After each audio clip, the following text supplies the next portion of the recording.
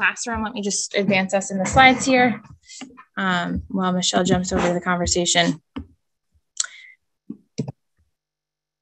So our goals of our presentation today are to make sure that we are sharing a little bit about how Merrimack Valley Middle School has partnered with 4-H. So that's myself as an educator in the classroom here at the middle school, um, and then Michelle with the Cooperative Extension at 4-H um, and UNH, and how we have teamed to bring this enrichment program to our school.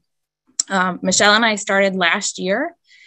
Very briefly, um, we had done some summer planning and thought about how to bring hydroponics into the classroom as an exploratory class here in the middle school. And then through COVID and remote learning, the exploratory option was no longer an opportunity for us in our building. Um, so I then, as a special educator, thought, you know, this is really a resource that I can accommodate and modify for many of my students and still run this in our resource room. As an extra piece of learning writing and reading, working on individual goals. Um, so we did just that in a very modified application so that is very important as one of our goals today that many of the things Michelle and I are doing in the classroom and with hydroponics, aquaponics, aeroponics um, can be modified specifically for your need and your scale in your classroom. So I want that to be um, kind of the big point. Don't be intimidated by it. It's all new, but there are so many educational foundations that we can tie into the hydroponic learning um, that we can bring into any classroom. It does not have to be a science based classroom that we can do this in. Um, so I'm excited to hear, like Trisha, um, other resources and things that you're bringing in to families and supports throughout the community. Another goal for today, um, what impact has our partnership had and have for students and our faculty in the building? Uh, we'll talk a little bit about that in a bit provide a sample of what has been included and given to some of you as a hands-on activity um, and what that has looked like for us as an activity in the classroom. And you'll see I have some of that sitting behind me here in our vertical system and our aquaponic system. Um, so just here in our science classroom and my exploratory class, we're teaching um, actually in a social studies classroom. So again, it can be very modified to what whatever setting you have.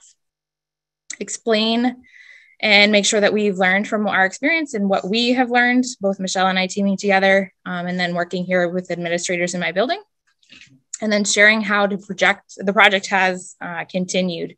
So, as well as the exploratory class, um, this for me has expanded from hydroponics into wetland science and then bringing along more of our scientific standards for many of our kids within the exploratory class. And then sharing what resources are available to support in the classroom. Um, so I certainly have my school-based curriculum, um, school-based resources, but then hugely important was teaming with Michelle and 4-H and the extension programs um, for grant funding. That Michelle was a tremendous resource in, in writing and securing for us here in the building to make sure we could get those materials for the classrooms. Um, not only for my exploratory, but also for our sixth grade science curriculum and a, a, broader aspect of students in the building. And time for you to share what experiences you've had in the classroom. Um, and we just did a little bit about that, but if we have time at the end, we certainly will expand on that. Do you want to add to goals? No, um, I think you covered that. But I did. I got a chance to look through the chat and stuff too, and it looks like we have a wide range. Um, I saw the gamut from high school um, through to kindergarten and preschool um, learning. And so at the end, I do have um, some resources that I have, um, some curriculums as far as suggestions um, to be able to use um, with those different grade levels. So what we will talk about and touch upon that. and look like a variety of experiences too, from some that are working with hydroponics, aquaponics, aeroponics, to those that aren't working at all, and working in settings outside of the classroom and bringing it into the classroom. Um, that farm to table concept, um, lots of ideas around that. And I think that there's a lot of synergy in this particular group here and stuff. So I think that there's a lot that we can all share together um, between the work that we've done and seen and I've heard about, um, as well as what you guys all have going on. So I'm excited um, to get going and roll through this and hear not only what Kristen and I have to share, but what you, you guys have to share. And I think that we can build on that. So um, I'm hoping that it's, it's a two way street here. It's not just about us talking to you, but um, all of us able to share.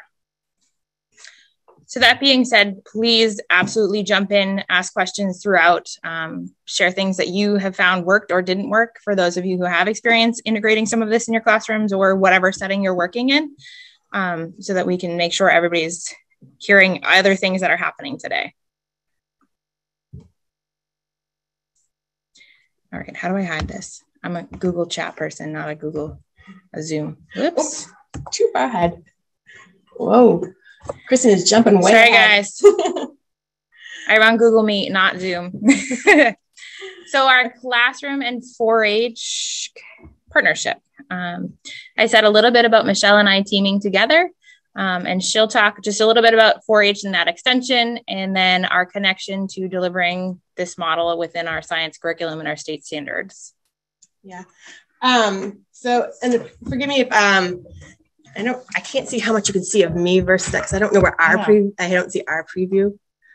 I think it came up in this. If we go to this, and I'm menu. a I'm a standing person versus a sitting. Okay, and I can switch seats, so I can sit. I'll sit, which will control my movement on you. There we go. Okay.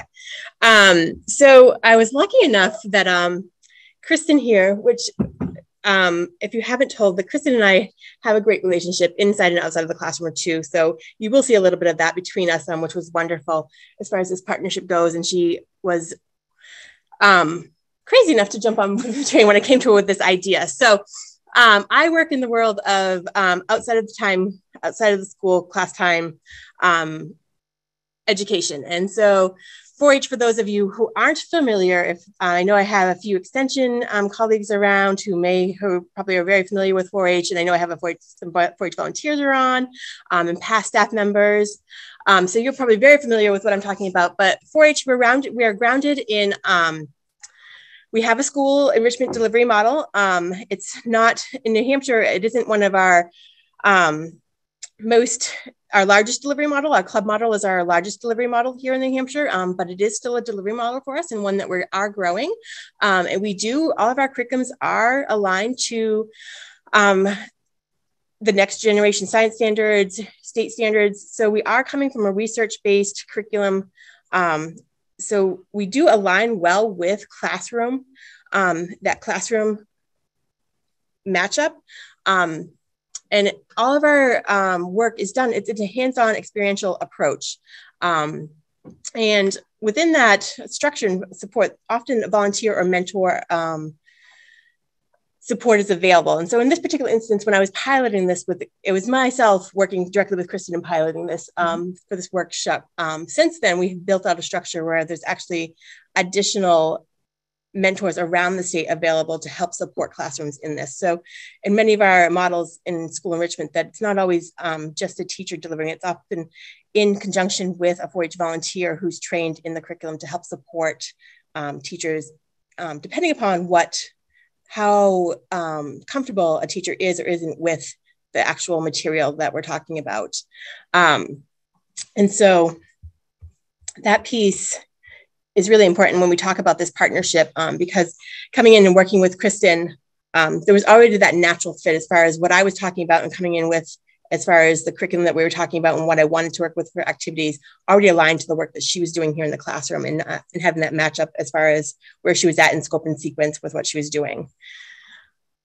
Can I jump in on that? Yep. So in addition to some of the curriculum standards, that's I mentioned that I had started this in a special ed classroom um, and a resource room, and and then teaming with our sixth grade team, um, our science teachers now here in the building are running a larger unit that is also supported by those mentors from UNH um, and then Michelle herself. So they have a number of materials that are starts with your um, materials, and each student is going to get an individual system that they'll be running um, and testing. So at each level, those standards, the science science standards, um, are met through this curriculum, both in the scientific data process and um, ex exploring inquiry-based standard um, and then aligning with our individual sixth grade standards. Um, but this could certainly be extended, expanded throughout high school level, um, in addition to other programs that are not necessarily a standards based or curriculum based program. So, specific to New Hampshire here and what we've done, um, that's kind of how we got started and brought this into our classrooms and then expanding to our science curriculum. Um, but it certainly can be molded and adapted and each individual lesson that Michelle said, we're going to share a folder with you with some of those resources and materials um, can easily easily be modified for different age levels. Um, and if at any point you're looking through some of those materials and you're like, man, I just don't have a scientific background to add to this, or I have no idea how I could accommodate this in my fifth grade classroom versus a science specific classroom, um, certainly reach out to Michelle and I, and we'd be happy to help you with accommodations or modifying the lesson so that anyone can access it. I think, and the other part, that last bullet on this is grants. Um, so the work that Kristen and I did, um, knowing that we, so I think someone asked about um, hydroponics and going into it being an expensive endeavor. And so hydroponics can be an expensive endeavor. However, I can tell you that I've done it, um, I've kind of done the spectrum on it. Um, so actually this winter I ran um, with COVID and such, um, a virtual hydroponics club um, as actually an agri-science club. We did three agri-science um, curriculums and hydroponics was one of them. And so hydroponics on the least expensive side at a $30 per youth um, exploratory with them. Um, and so parts of those um, experiences actually we did do here in the classroom too, and we'll be able to share. Um, there's some pictures coming up, and as well as there's also some units here in the background here that we have that were a piece of that. So it doesn't have to be expensive to start off at an individual student level and to be able to interject the pieces and the grounding of hydroponics. Um, but we were aiming a little bit higher here in the classroom and we knew we wanted to create a sustain, sustainable piece here um, and carry it on. So we did go after a little bit of funding. So we applied to the CHS Foundation um, and received $500 mm-hmm. grant um, to purchase some pieces um, out of Alaska Ag in the Classroom has indoor um, hydroponics curriculum that is free and downloadable. Um, and so don't worry about catching some of these, all of these resources we talk about. So after the after this workshop, I do have all of these resources in a nice listed out, linked form that I will send out to everybody. Um, but Ag in the Classroom is an amazing um, network of also resources too, along with 4-H. So they also have a wonderful matrix of curriculums that are searchable as well. Um, they had a wonderful curriculum that I had taken, um, had adapted some stuff from there as, as well and utilized as, from that. Um, and they in theirs had um, a a design um, protocol for a vertical unit. And so we utilize that. It's over here in the corner. Oh, oh no. I don't want to unplug it. I want to unplug you. Yep. So it is built over here in the corner.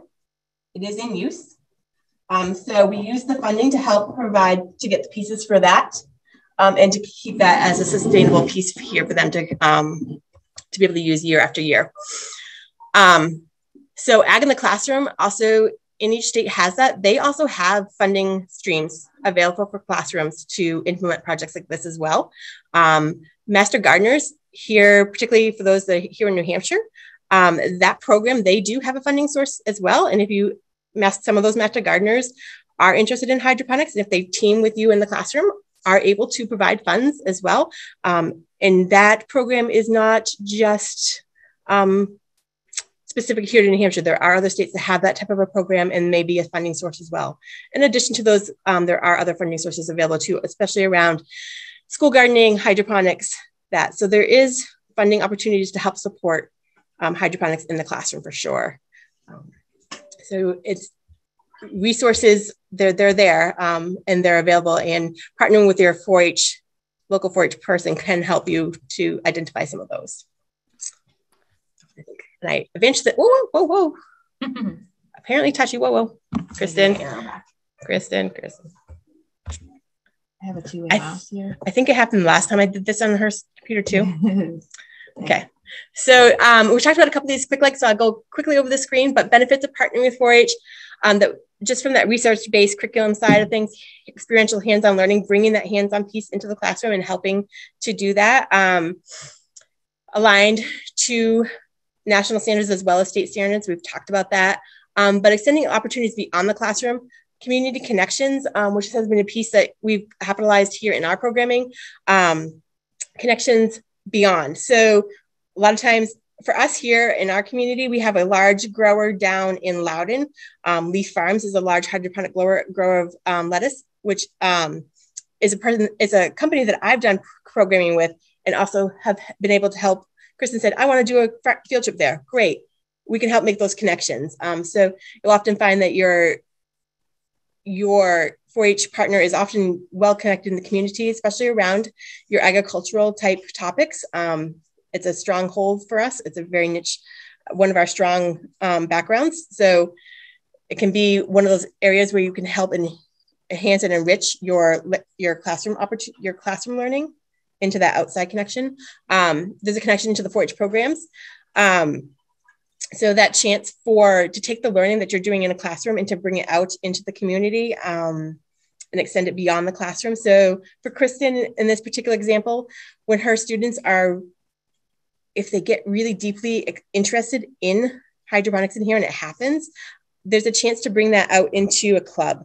Um, so we have clubs around the state that are doing project work, and some of that project work is around gardening, hydroponics, and such. Um, and so to continue that learning outside of school time with other like-minded peers um, in specifically that area, and then to take that on to county level programming, club level, it goes club level programming, county, regional level programming, and sometimes onto national opportunities. Um, and so actually specifically out of this school in particular, I've had students that have gone in a MAPLE program and actually done a, a national um, maple presentation around maple sugaring. Um, so very excited for them around that particular project.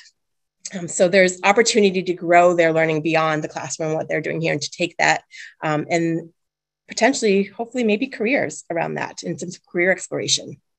Um, and then always underlying in those um, in the project that work that we're doing is that life skill development, which was really evident. And when Kristen and I sat down to do some more planning, we were looking at the scope and sequence of what we had planned out, and she's looking at it and she's saying, "Well, this is great in this activity that you have planned out here because we were looking at the design of the six general hydroponic type of units and it had around researching out the units and you know how would you kind of do, um, build out your own unit um, and it really nicely fit into the skill development of the research and understanding resources and utilizing that because that was also um, skills that they were utilizing in the other classes that they were doing. So it really dovetailed nicely with with um, in supporting the, the skills that they were developing here at school. So in particular for me, I, I actually had students who were in a life skills resource room um, as far as a special ed identification that were then advocating for themselves in their research unit in their sixth grade ELA classroom that my research project is now going to be based on my hydroponics learning and all of my research and skills that I'm I'm learning as far as resources and scientific data. Um, what's a good resource? What's a not? What's what's not? How do I find out if it's scientific based? Um, and they geared this specifically towards the hydroponic learning. And for some of them, it has now led to them taking this as an exploratory rather than just as a extra unit in their life skills classrooms. I actually think the next one is yours. All right. So we're going to jump a little bit into, I guess, let's kind of pause here and just make sure anybody with questions, um, Michelle's going to jump on her chat as well. Questions to how we have integrated this into the classroom, what teaming with the 4 H and school based programming has looked like, um, questions you have about that, questions about grant funds. Um, and then we're going to kind of jump over to what hydroponics looks like and how this is looked in the classroom and some of that lesson planning and things that we've done specifically in the sixth grade classroom. So I'm going to stop talking for a minute.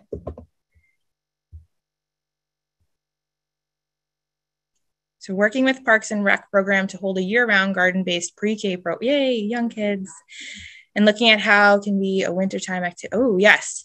Um, so here in Merrimack Valley at our school, so we are New Hampshire based, uh, negative 12 degrees here this morning, and gardening is not happening for us in the winter. Um, Trisha, I see you shaking your head. Yeah, freezing cold, right? Um, you guys are probably experiencing similar temperatures right now. Maybe. No. Okay. Um, so for us, I started this. Um, we are running on a trimester schedule, and I started the programming in the spring, uh, incorporating a bit of wetlands outside, as well as then we built our first hydroponic unit, which is the vertical unit behind me. Um, and then each trimester, I have left it up to the students specifically decide if we're running one leg, all three legs, um, if we are swapping and running our aquaponic unit, which they just planted in um, on Thursday. And then the smaller ones in the back, we have our test tube um, kits, and then the passive bottle systems. So all things that they've had an experience in within the classroom. Um, so, and all winter based. We ran it in our greenhouse here on campus um, in the spring, which was great until about November. And then our school board said, sorry, we're not heating that anymore. so we brought it into a classroom and um, it's been working just fine. It's currently sitting in my co teaching um, science classroom. So we have a little bit more counter space and some outlets. Um, and we come in and visit during the exploratory time and, and do the work we need to in here. It also gives us direct access to the sinks a little bit more counter space for testing, um, adding nutrients to those systems. Let's see. Whoa. Solid waste planner. Ooh. New personal knowledge of hydroponics incorporated into local school show. Okay, yeah. So running certainly as a specific unit or even a week of summer camp, that could be um, a small unit or just a hydroponic unit. Um, so cold. Yes, it is cold, Robin. Very cold. It's supposed to get better midweek. Science educator training, training North County. So, Sarah, do you know Michelle? If not, I would encourage you to reach out independently after as well.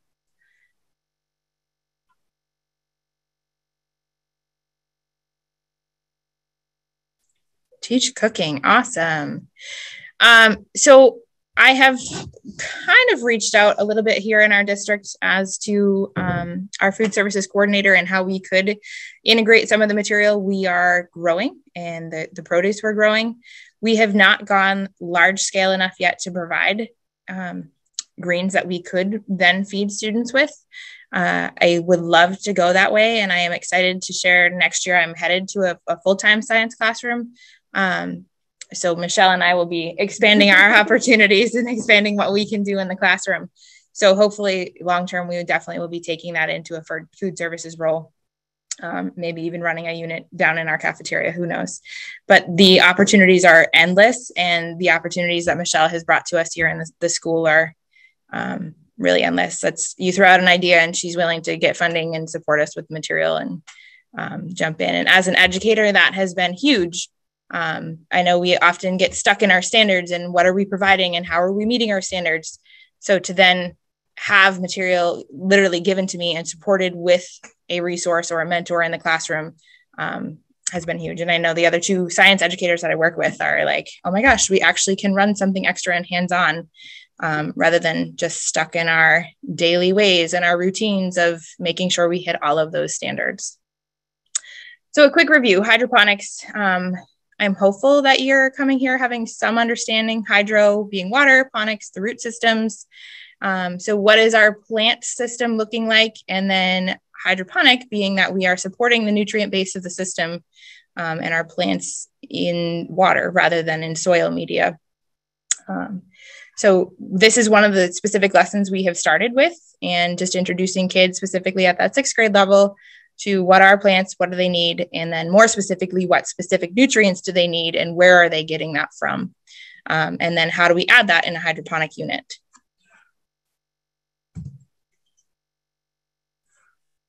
Why are we not advancing now?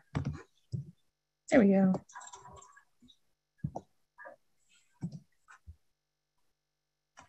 So these are some pictures of, again, the units I have right behind me. Um, we have our aquaponic unit and our liter bottle units. So this is a, a, soda bottle that's been cut. It has a wicking system underneath. And then you can see the different types of media that students then got to um, test for different absorption of water and decide what they wanted to grow um, in their unit. So again, they had done a little bit of a research project um, in conjunction with some of their ELA research, learning how to specifically scientifically research and then provide the data to back up their decision. And we built the passive systems with the wicking unit. Um, and then they've also gotten the opportunity to experience with the aquaponic systems. Um, so providing the nutrient with the fish, the fish feed from the nutrient from the plant, and then it's a filtering system that runs through. So this one provided from Amazon, funds from Michelle that she supported with us um, in those grants. And then this direct material that Michelle was able to provide us in the classroom um, and again, each individual student got to build their specific unit and make their choices on the media they were using. So most systems are kept indoors. Like I said, we had the opportunity to run this in our greenhouse. Um, it's then flexible enough that we are now running it on a countertop inside. Um, you know, we're using a different timer setting to run our, our light systems back here, which you can see in the picture. Um, very portable, very adaptable. But again, we're on the small setting. Um, so we could certainly scale it up and I can work with our school board and run it in our greenhouse. So it's definitely what you have available for you as a resource um, to get yourself started. And those of you on the home unit, um, I would encourage you to try a small system first and kind of see how it goes and, and what testing the different pH levels and nutrients are like in your systems, um, and then see how that goes for you. I know personally, running some of the smaller systems, it's been easier to manage as far as understanding what my plants specifically need versus now running kind of our larger systems. Um, and you can kind of see like this plant is kind of struggling, not really getting the nutrients it's needing. Um, but this is all providing a learning opportunity for my students who are then also seeing their rather healthy plant um, and they're testing two different medias in this case. So testing Rockwool and testing clay beads um, as a media. You want to add anything, Sam? Um, no. So the only other thing I would add is that um, if you the the individual um, one liter bottle units that are pictured here, um, if you were looking for a a piece for students to have kind of an at home um, piece for them to have ownership of. Um, this that would be a great piece for them to take home. Um, I have done that in a remote setting, both with schools as well as um, in the out of school setting, um, and that's been a piece that we've used utilized at home. It's actually been a piece I've done fully online um, and led 55 youth through as far as um, through a series of four, no five five sets of activities through on a totally remote setting. Um, so that piece um, is a great opportunity if you want that kind of at home ownership of it for them to be able to take home, engage with families with that too. Um, I would say that that would that would be a piece you would take out of the classroom if you're looking for that kind of a, a, a built-in piece to your programming to think about that. And just kind of adding to that, for some of you who are, you know, the EBT and providing the SNAP program, um, providing food at home this specifically, the kids have grown basil and they have taken home a basil plant that they are still. I have students who started in September are still using it. I had one last week was like, I, I used basil in my spaghetti sauce with my mom this weekend. Um, so it is providing a source and it's certainly something that they could then go larger scale at home. And I know here through our student services programming, um, we have other resources that a family could also have outside community funding to support them in that kind of a, a grow unit at home, mm-hmm. um, specifically if it was providing them with a food resource.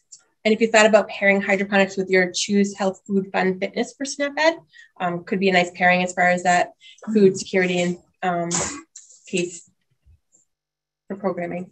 Because I think that is still a approved curriculum for your for the SNAP-Ed funding source could be on wrong. Heidi could totally correct me on that if, if I'm off on that, but I think so.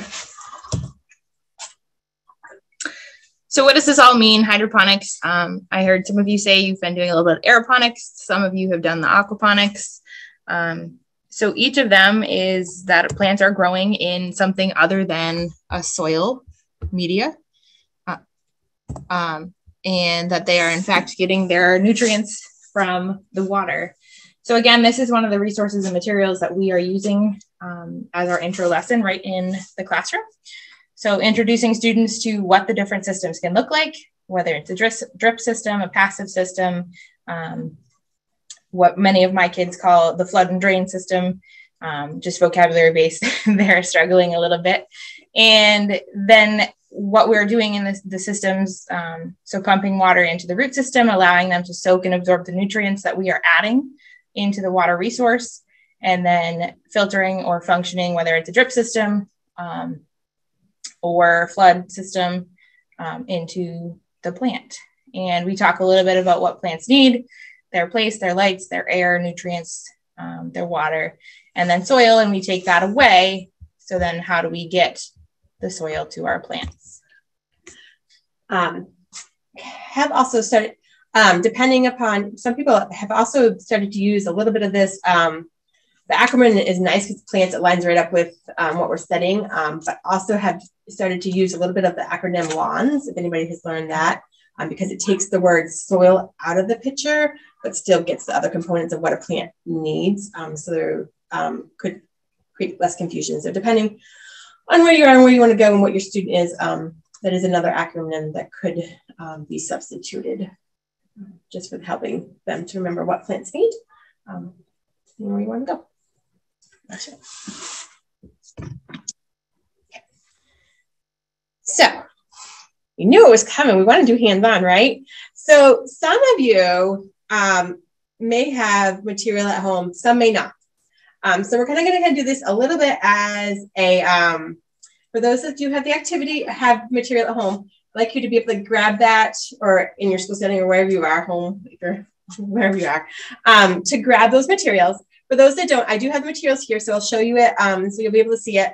Um, and those that do have it would like you to be able to do the activity at home and then um, I think there's so few that we would like you to be able to share your results because what we did do when we sent the material out to those of you, um, not everybody got the same material so that there is a comparison and you can provide um, kind of um, that picture of what the differences are between the materials. Um, so the activity that we chose to share with everybody and send the materials home for is um, a sample of our grow medium activity. And so in this activity, the students themselves, when we do this activity, they get um, at least three different grow mediums that they test. Um, Kristen in her classroom, I think, has actually been doing up to six materials that they test. Uh, each student has individually. And so the idea behind this is when they when we talk about it, we talk about grow mediums um, having different characteristics. And so we talk about what kind of characteristics we want a grow medium to have. And then, but, and water absorption or retention is one of those. And so we want grow mediums to be able to retain water. So because those are the, that's material that's right around our, those roots um, in our, in our plants in that system. But we also don't want it to keep too much water. Um, and we talk about that, the reasoning behind that, that we if it, if it keeps too much water, then we can have also run the possibility of rotting our plants out, providing way too much nutrients, which happens to a few of these. If you saw a sample of that, um, they're having some trouble with. Um, so it's really a balance. And so this activity gives the chance for the students to get hands-on with several different types of materials, to touch, to feel, to really explore that material, to describe it. So there, there's a little bit of an observational piece there um, and then to test the property of it, the water retention property of it, and then to make an educated guess or an educated decision on their own. So this is where Kristen said they get they get to make the decision what grow medium they want to use or test out in their system. So once they know what the water retention or absorption rate is of the grow medium, and then they also know what they're growing for a plant themselves, they can decide okay, I really liked how the cocoa, cocoa fiber did or did not retain water. So I'm going to use that. Or I want to mix it up. I want to use cocoa fiber with hydroclay and see what that does. So there's a chance for them to kind of create their own scientific experiment from this. So I'm just going to adjust one. So quickly in the one liter bottles. So specifically with this particular um, media choice, the students tested each media like some of you are going to be able to do today.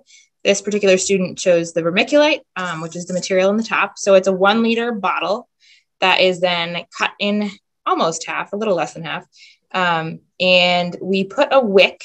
So the, the cover is drilled with a hole and we put a wick in. This one is from September. It's, it's looking a little rough at this time, but it's a student who departed with us. Um, so the wick is then put into water, which the student has to test pH, um, of just our regular tap water, and then do a little bit of research about their specific plant and what type of pH it would need, and add nutrients. Um, so for us, it looks like FloraGro, which is this material right here. Um, again, all provided through us to us through the grant fund, um, and the kids measure out. Um, again, scientific standards, measuring, adding, um, and they they add to their material and then they grow. So this particular unit does not have a seed in it any longer. That plant was transplanted to our hydroponic vertical system. Um, but just an example of the very simple, you know, you really don't even need, you could just use your recycled bottle, um, tap water at home. You could certainly experiment with adding different um, nutrients that you have right in your cabinet. Um, and then your unit, your, your material up top could be simply stone from your driveway, um, sand from a sandbox. It's, it can be very, very basic for the students to grow. Yeah. I brought with me today, I have some cocoa husks here with me. Um, so the activity is pretty simple for as far as materials. So need a cup of the grow medium, whatever grow medium that is. Um, I did bring, I brought some paper plates or some kind of surface just to be able to, to lay out the material on um, because we, we encourage the students to, to observe the material. Um, and to touch it to feel the texture of it. And I'm, I'm, I'm balancing between seeing the material. I'm, I think it's more important to see the material. Um, and so we also provide um, just really simple, easy, cheap um, magnifying glasses for them to be able to look closely at the material. Plastic cup, um, clear. And it needs to be plastic because you are going to put a hole in the bottom of it. Um, and so I tip on this one, um, especially because we do have um, educators that are working with a gamut, the whole wide gamut from three to up to high schoolers. Um, so a hole in the bottom. With my young students, I pre-put the hole in and I have used, it makes it much easier. You can actually do a pretty good stack of them with a drill bit, a 5 16 drill bit. Um, so take unless you really want to use your muscles and get them really working, drill bit. But if you don't have that drill bit handy step two, and if you're doing older students, you can, with a lot of caution and the safety tips, you can use a screwdriver. And I used this morning, I used just the Phillips head screwdriver on this one. I really give you a couple safety tips for mine. that when I did this this morning, I did not go anyways. I went, I used it out so that my hands were away from the tip and I slowly put pressure on and just twisted and worked it until it got through. It took a while. The cup crushes in a little bit. That's okay as long as it doesn't crack because really all it's going to do is drain water through here. Um, we just don't want the medium to go through. Um, and I worked it until it goes through and it takes a little bit of time and a little bit of patience. It is doable, um, but not, I, with the younger kids, I really encourage that you have those holes in first. So I will just add to that at a sixth grade level, um, that was certainly all, all, of this, the building and construction of their units, cutting their bottles, their one liter bottles.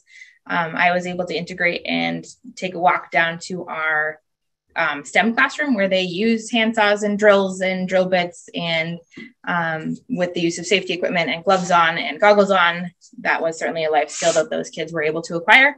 And they drilled all of their own materials. They have cut the PVC. Um, they have cut tubing and their bottles as well. Um, so you again need to kind of think about the, the gamut of kids you're working with and the skills and abilities you're trying to get them to acquire.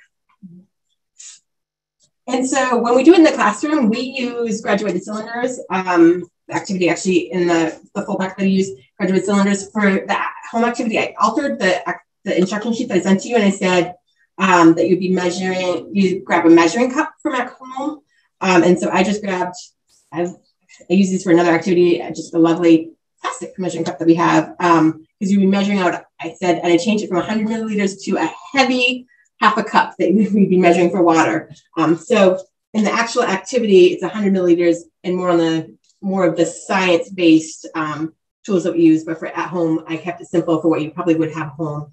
Um, just thinking if you were at the at home environment, because I unfortunately could not mail everybody graduated cylinders. Um, and then also from at home, um, that you would need a bowl.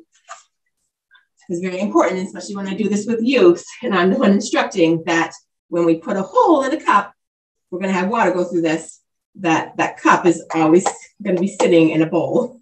Um, we don't want any accidents. And so the other thing I try to always make sure I grab, and just in case is to have really handily is some paper towels. Um, and actually at the end, you will want some paper towels handy when we go to take the medium out of the bowl to measure the water out after to have that a place to put your cup um, to rest because there'll still be some water draining out at the end even after three minutes. So personally, the first round of, of testing when we did the grow medium, um, we did this outside in September here in New Hampshire. It was a warm, beautiful day, and we didn't really worry about making a mess. And the kids really got to get hands on. They were using scientific materials outside, um, and that that made it just that much more fun. We didn't have to worry about cleaning up a classroom after. Um, so just a tidbit. So just to give you a sample, so if you're at home or in your school setting or wherever you are and you have the materials, I would encourage you to go ahead and get that material out.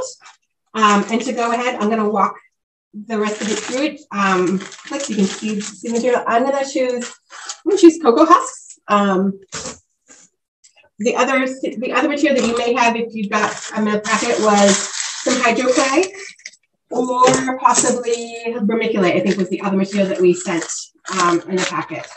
Um, vermiculite looks a little bit like this, um, can be a little bit dustier.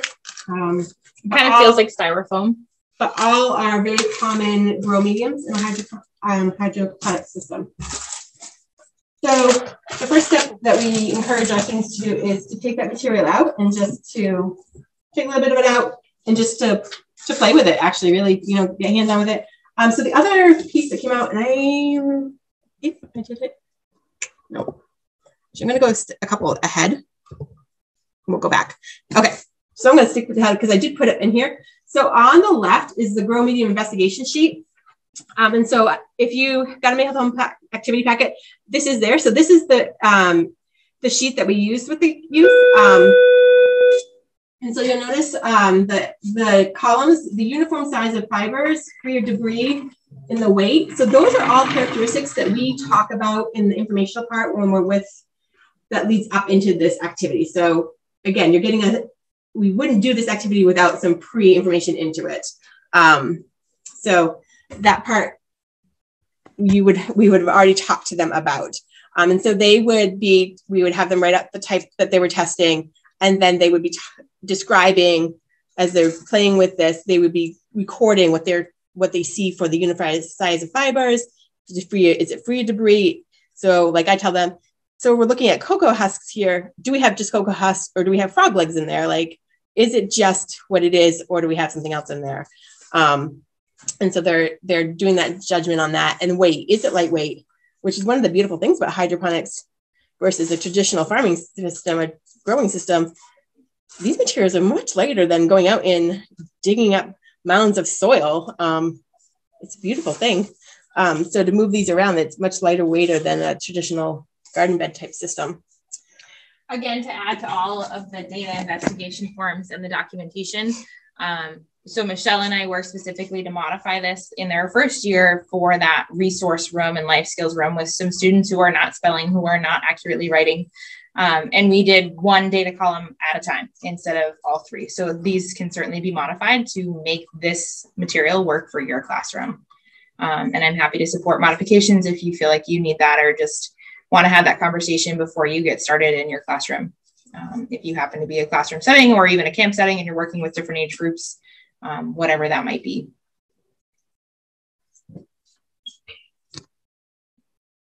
So as so as they work through and we observe the material, um, and sometimes as they're working through talking to, again, engaging the group and stuff, sometimes there's some conversation, not depending upon, and I love to listen when they are observing and you hear them talking about it. Um, it's just great to hear the connection they're making.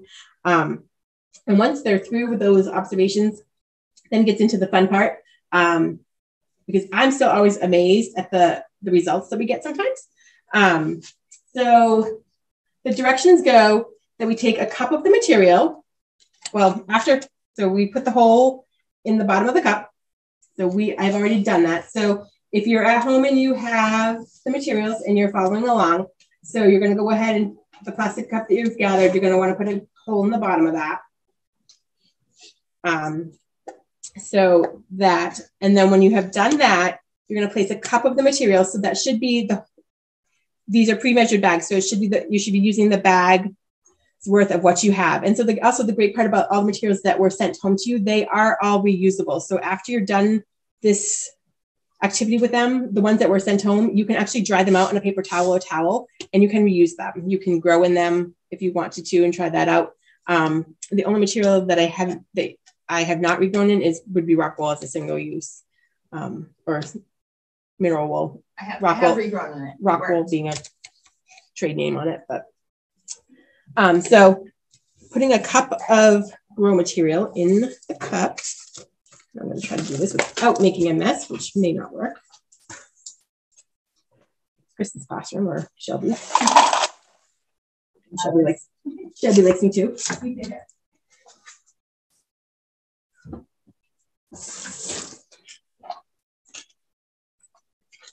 So please feel free to jump in with questions um, as Michelle is testing and you guys are walking through it. Especially those of you, if you don't have the material at home or you want to see something more closely or specifically, um, questions, let us know. I'm going to keep one in the chat too. But definitely unmute and jump in. Hi there. Once, Are you able to show the wicking unit a little bit closer? the wicking unit. Yep. Kristen will grab that. While she's grabbing that, when the material is in the cup, I'm going to mark the top of it with the Sharpie marker on the outside so that you know where the top level is. And this is to know any changes that happen after if it compresses um, or anything else once we pour the water through. So just marking the top where it rests with the top on the outside. So this is a very basic wicking unit. This is again the one liter bottle um, model. And so wicking in general is just saying that it is wicking, just like a candle wick, um, drawing up the water or the nutrient solution Ah, okay. into the plant. So this is the wick. Literally, um, it can be just about any soft porous um, string or material, cotton string. This is particularly a hydroponic specific um, wick, but you can certainly use cotton material. You just want to make sure that whatever you are setting it into is absorbing up the string. And then in this case, it's buried in, I don't know if I'm going to be able to show you without dumping it out. Um, it's up into the base of our grow media medium um, so that Yeah. it's bringing water to the roots of the plant system. So that being said, wicking is also just general and growing then in our vertical unit, um, there's a couple of different ways we could use wicking. So this particular unit is pumping water um, from the basin or bin on the floor. It's a Mhm. simple um, small scale pump, pump, and that then is feeding the top of the vertical unit through the black hosing. Um, and my group of students right now wanted to use this as more of a flood system, except it's a vertical unit. So they wanted to see what would happen, and they're going to find out tomorrow after our PD day today that their plants are already not so happy. Um, so we're going to have to make some changes, but all part of the inquiry and what do plants need. So first trimester, um, we ran this as a drip system. So this is again just small hose piping and other small, very flexible piping and a drip unit. Again, all materials that you can get at Home Depot or on Amazon, very basic. Um, they come in different size packages. And this was all able to be done. Um, we're at about $275 worth of my 500 grant right now that Michelle coordinated. Um, so very doable in a classroom. And this hosing then ran into the vertical unit and each specific net cup, which these little cups are the net cups with the grow medium and the plant. Each cup then had the drip unit specifically set into it. So more of a direct water and nutrient drop to each plant. Um, so the students right now are learning which one is growing better, which is bringing more nutrient directly. Um, the other option, which so I will suggest to them Tuesday to think about how else, based on their research of the mini units um, and the different types of hydroponics, how else could they then bring water um, to our vertical system? my hope is that with their research on the different types of system and their use of building an already wicking system in the one liter bottle, that they will determine, you know, we can continue to use our flood system, but we need to add a wick to the bottom of our net cup. So when the water floods the vertical pipe, each wick will draw water to the individual plant. Um, so that's wicking system. Um, very much like a candle wick, drawing the wax to the flame. Thank you. Sure.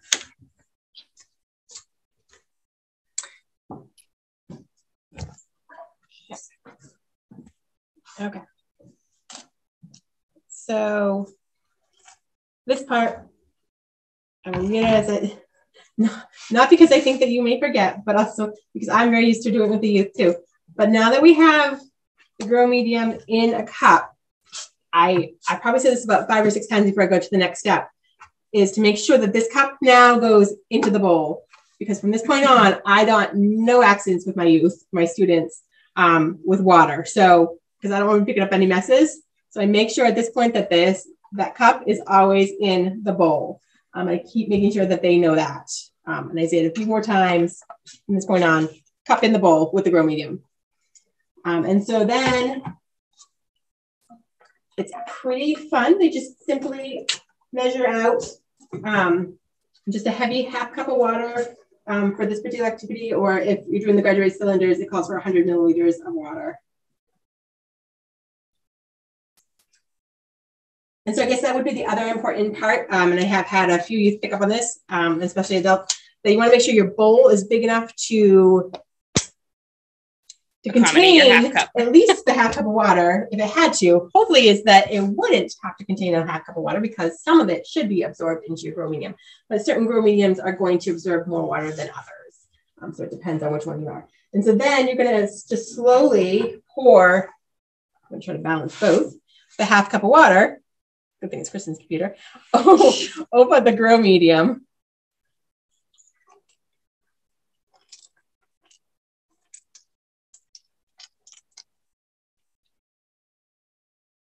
And then it says wait for three minutes.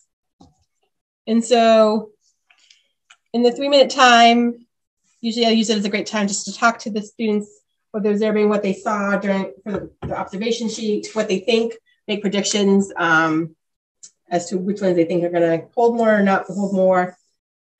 All of that good stuff.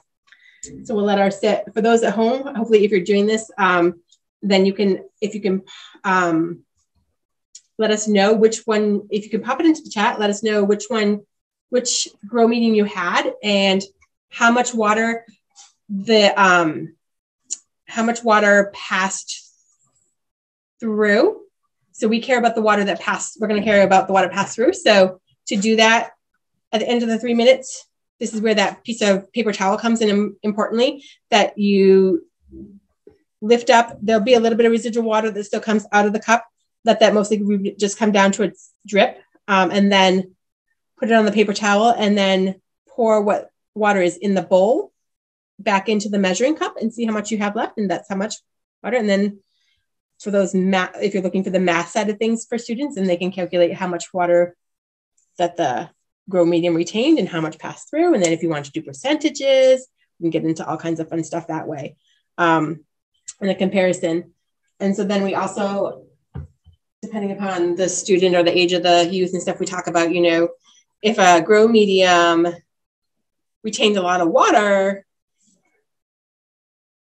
if it retains a lot of water, then what does that really mean to us? And what, why do we care?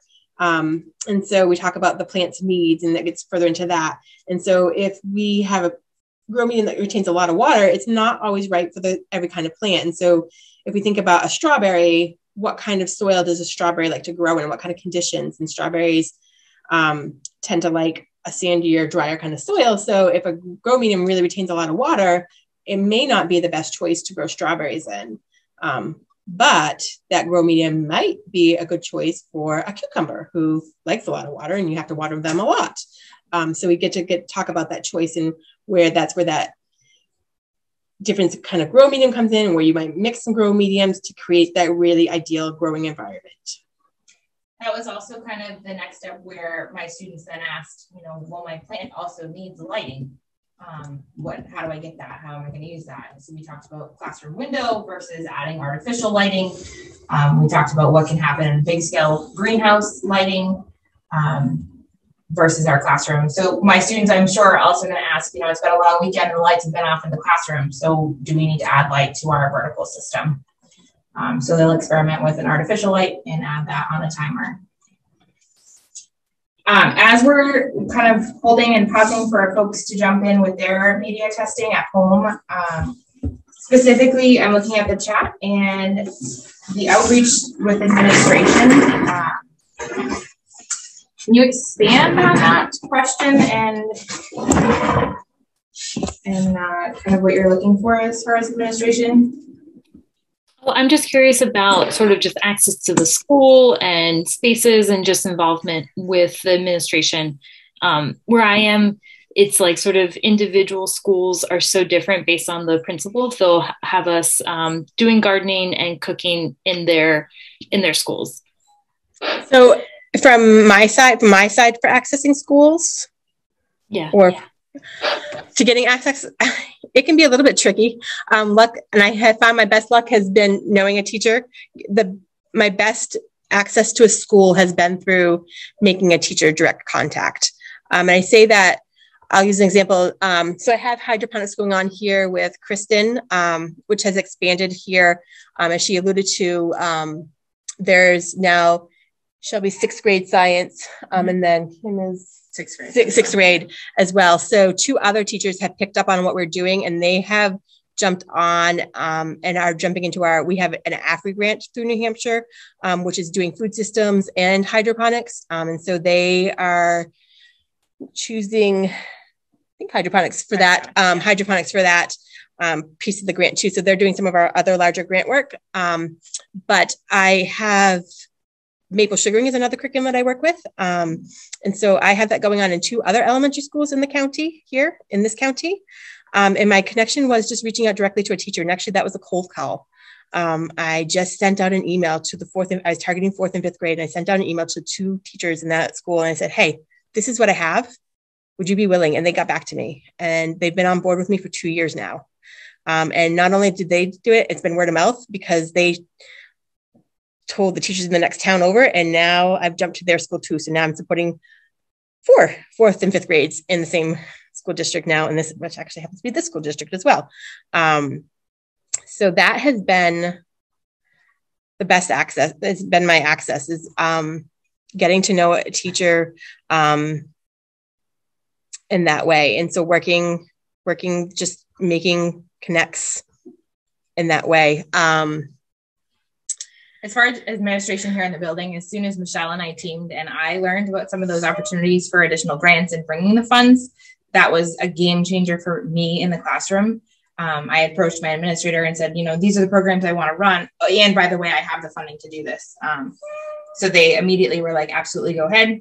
And then in addition, that has brought more conversation at a district level. Um, what other clubs and programs can we integrate? How can we integrate this into our standards and bring more hands-on learning while we're meeting those classroom specific standards, um, both in science and then in each of our curriculum areas. Um, so we're looking as a district to expand with the conjunction of Michelle and some of those other programmings, um, maple sugaring here on campus, our grow gardens here on campus, um, and then into food service. I have to say, I have to say one of my other the other resource that um, I'm using, and I'm I can't. I'm apologize I can't see the whole screen who's actually asking the question necessarily, um, but um, utilizing other resources that are working within school districts. So, um, so I'm working on the 4-H side, but I have colleagues in Nutrition Connections who are working in classrooms, um, and so sometimes working our relationships and knowing what are both what they're doing and what I'm doing, um, sometimes there's a great connect there too. And so them knowing who they're, that one of their teachers may be interested in very much what I'm doing, um, and it makes a good sense. Um, and so sometimes connections happen through that way, and that's a great access point. Awesome, thank you. So I am just looking at the clock, and I I want to be cognizant of everyone's time. We are at what we had allotted for time. Um, we have a couple of other slides that mostly just have pictures of what we've done in the classroom, the growing media, um, bringing that outside, testing materials outside. and then resources that are going to be available to you. Um, that that folder that Michelle has shared with me um, with resources for my classroom and, and modifying as I needed. Um, what questions do you guys have for us?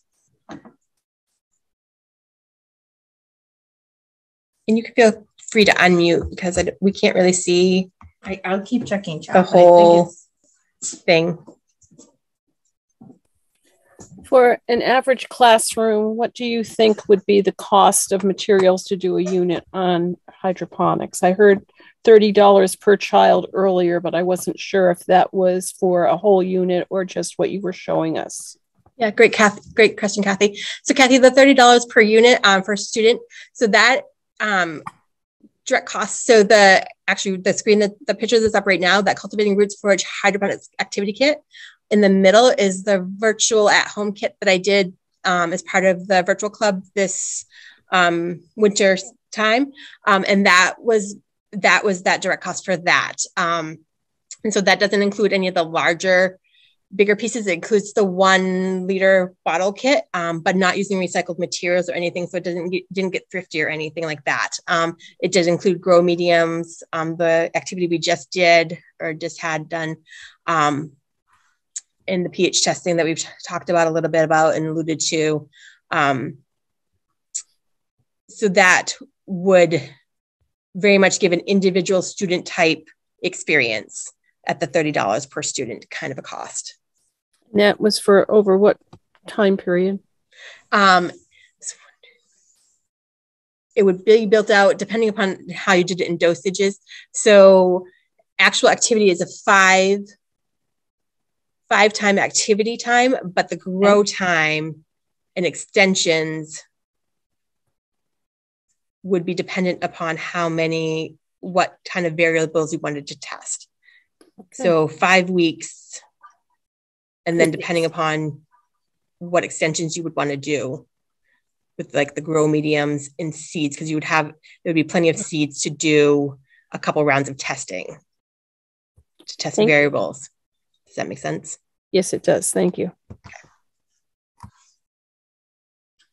I can kind of add to that. So from an exploratory based class, so we have a one-time $500 grant that has brought us the materials to do the vertical system, the aquaponics unit, um, and the wicking systems, which I extending to next year won't replace the grant, but will be able with just my $100 exploratory funding for my school district be able to bring in recycled bottles. We don't need to be ordering new one liter bottles. Um, so with the $100, I should be able to replace my wick and some of the growing materials that I can't just get, you know, sand and things from our backyard and um, resources around our campus that I can order online. Um, so I should be able to sustain my exploratory after my initial $500 grant um, with about $100 per year. And that is for a three day a week class. And I have 15 to 25 kids, depending on registration. Oops. Sorry, I hit buttons fast, but I can go do that. Actually, I will, for those of you that were working with multiple age, um, these are just pictures of a couple of curriculums that are out there um, that do go from multiple age range. Um, the one on the far left, far left grow with a flow and the soilless grow systems are both aimed towards high school. Um, and the exploring hydroponics up on the right um, is more towards the fourth, um, fourth through sixth grade. Um, and then cultivating roots in the middle was actually the um, is what I have have put together, kind of combining some things, combining a little bit from a few different curriculums, bringing some things together to make a um, make a packet together. Um, and it's really aimed in that fourth to sixth grade. Um, and I have modified and done it. Actually, I had a, quite a bit of Cloverbuds that joined me. So those are our five to seven year olds who have worked through that kit um, with me and had a lot of fun with that. So very doable for the age ranges.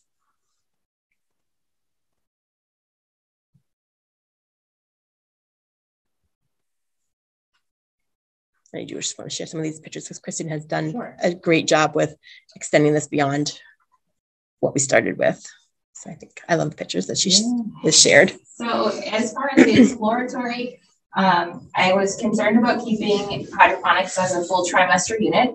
And I have an environmental science degree and background. So I thought, you know, what better way to integrate real world, natural world um, into hydroponics and kind of leading directly to wetlands. So we've been out um, building wetlands, thinking about how water impacts our environment and our personal resources, our watersheds. Um, so we then extended some of our hydroponics research and went out to the wetlands to see how specific wetland plants were doing and growing. Um, again, I've been able to expand a little bit with the exploratory class, but as well, we are also doing our, our environmental science unit. So expanding through sixth grade science um, as we got outside of it. We've looked at some soil samples, talked about different soil types, being the different media, grow media that's brought together, and whether their soil is sandy or rocky, um, and what that looks like both in wetland and an upland. Um, using some of the magnifying glass that was brought to us with that grant funding uh, to really get hands in and, and deep and in the wetlands, looking at the different vegetation and what the roots can look like. Um, different types of root systems and how that could then impact and transfer into the hydroponic system. And then building wetlands in the classroom and bringing water resources to it, and how water travels throughout our watershed. So just expanding a little bit on hydroponics and how to integrate all of this unit into um, our science curriculum in our classrooms. So I did not see any other questions in the chat.